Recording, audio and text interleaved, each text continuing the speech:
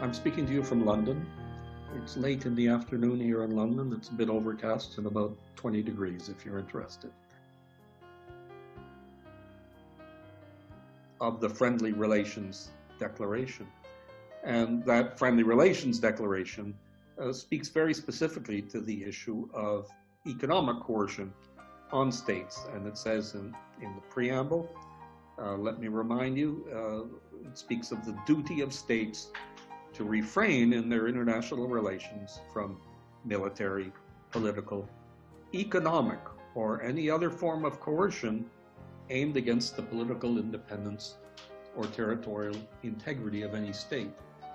And then somewhat further on in the, in the declaration, it says that no state may use or encourage the use of economic, political, or any other type of measures to coerce another state in order to obtain from it the subordination of the exercise of its sovereign rights and to secure from it advantages of any kind.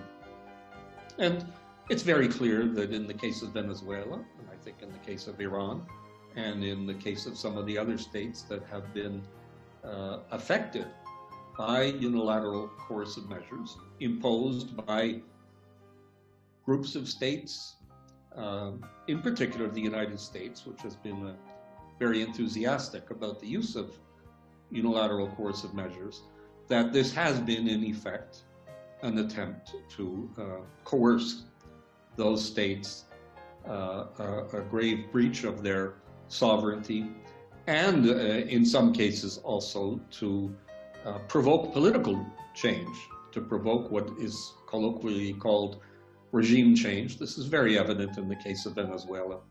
Um, and to do that by pressuring the civilian population, by undermining the support within the civilian population that the uh, current government might have.